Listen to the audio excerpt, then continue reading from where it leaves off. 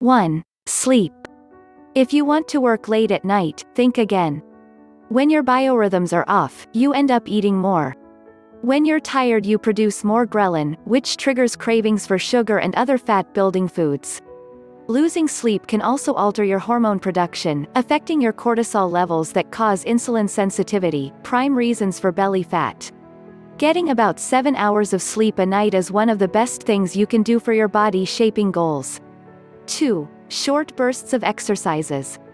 1000 crunches a night may get you strong abdominal muscles, but with a full layer of fat on top, you will not get the results you really want.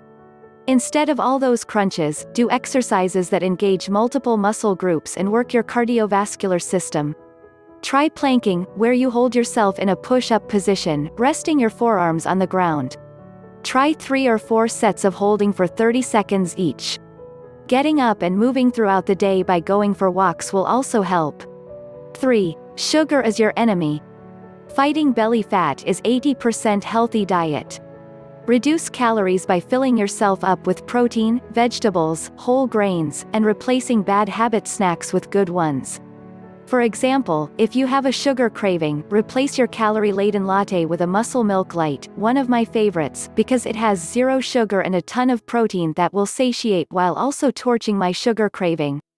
Another great trick is a sprinkle of cinnamon in your morning coffee or oatmeal the spice has been shown to help stabilize blood sugar.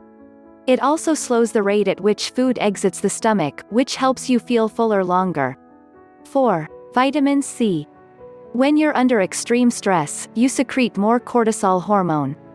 Vitamin C helps balance the cortisol spikes that happen to you under this stress.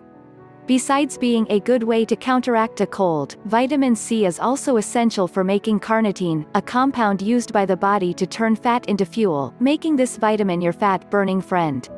If you're going through an emotional crisis, stress from work, or a bad eating splurge, increase your vitamin C, it'll help counteract the negative side effects. Try bell peppers, kale or kiwi fruits. These have even more vitamin C than the famous orange. 5. Eat fat. Yup, you heard me. It takes fat to burn fat. Like I said above, it's sugar that gets you fat, not fat. Good fats include foods rich in omega-3s, like salmon, avocados and walnuts. These foods are full of nutrients that help keep you satiated throughout the day. 6. Slowing down your breath. This is a very simple method that you can use even when you're in the midst of doing something else. Whenever you notice you're feeling tense and uptight check and see how you're breathing. Most people under stress either alternate holding their breath with short breaths, or take rapid shallow breaths. After you become aware of your own breathing, consciously relax your belly and slow down the breathing. This works best if you focus on slowing down the exhalation rather than your inhalation. With each exhalation you can say to yourself, slow down.